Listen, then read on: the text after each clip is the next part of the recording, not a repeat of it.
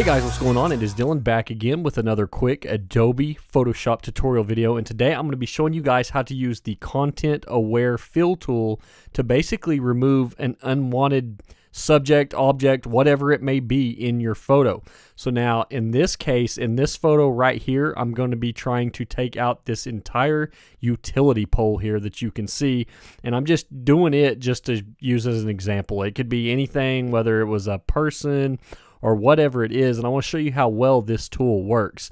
And before I get started, real quick, guys, up in the upper left corner, I'm going to click on Photoshop and then I'm going to click on About.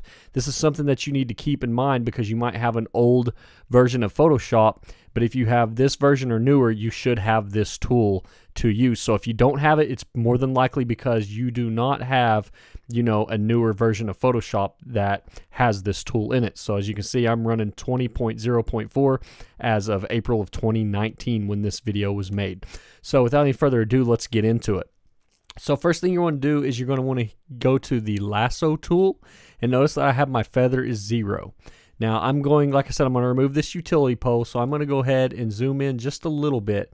Go back to our lasso tool. And you don't have to get extremely close, but it always helps if you actually lasso your object or subject or whatever, you know, relatively close. But make sure that you get whatever you want removed. Make sure you get it selected. Then you let go. And as you can see, we have it selected. Now from there, we're going to want to go up to Edit and then we're going to go down to content aware fill. It is not content content aware scale, content aware fill. These are two different things. So make sure you do content aware fill. We're going to click on it. And then this box is going to pop up. Now, let me explain to you guys what's going on with this. So basically, when this pops up, this green, it's looking to fill this spot in that you selected that you want out with samples of anything that's in green, right? So we know that we don't want it to fill in with any of of of the person here golfing, which in this case is me. So you can see the minus sign in the middle of the circle. So I'm going to click and hold and I'm going to erase me because again, I don't want it to take any samples of me and try to fill in this area with any, you know, pictures or parts of me, so to speak.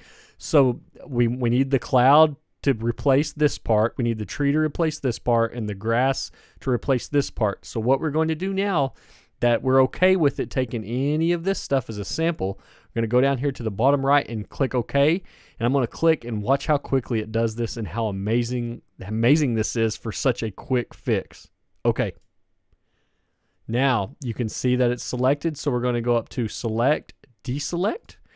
Look at that, guys. Is that not pretty dang amazing for how quick and effortless that was? We essentially lassoed what we don't want in there, and then we went to edit, content aware fill. It's grayed out now because we don't have anything lassoed, and then it did that. Now, if you look over here in your layers, you'll see that you have background copy in the background. Now, this background copy, if we hit the little eye here, it will take it to where you know, you see it now, but this layer right here is the actual mask that's going over there. So now if we hide our background copy, you can see that's the part that's stamped over it to hide that. Now, if you want to flatten it, you can go to layer flatten, and now it's just a flattened JPEG without the utility pole in it. I realize that the uh, power lines are still there and you can go in and do your clone stamp or even content aware fill for it as well. But anyways, I don't want to get this video too long. I just wanted to make it real short, simple, and to the point.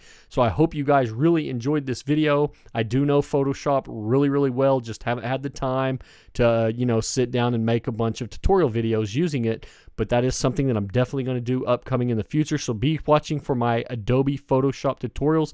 Be sure to subscribe to this channel. Um, if you uh, you know use the Adobe Creative Suite, I have an Illustrator um, tutorial, and I'm going to be expanding on it. And I have a lot of Adobe Premiere Pro. So the whole Adobe Creative Suite. If you guys are into that, be sure to subscribe, like, and hit the little bell icon on this channel as there will be a lot more Adobe Creative Suite type stuff upcoming in the future. As always, guys, I enjoyed it. This is Dylan.